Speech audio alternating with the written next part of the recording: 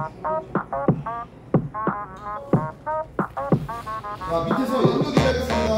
연두기회 샷!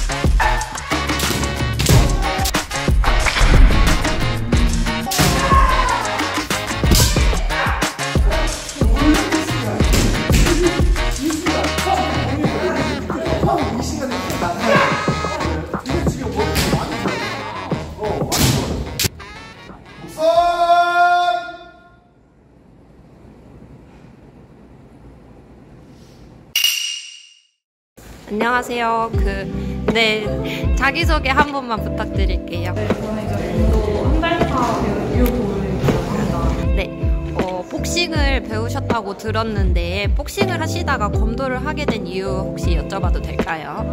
어, 복싱은 한 어, 1년 6개월 정도 했었는데 이제 복싱 할 때 스파링 하잖아요. 근데 이제 스파링 할 때 장비를 다 착용했음에도 불구하고 이제 너무 아파가지고 그 후유증이 좀 커서 이제 종목을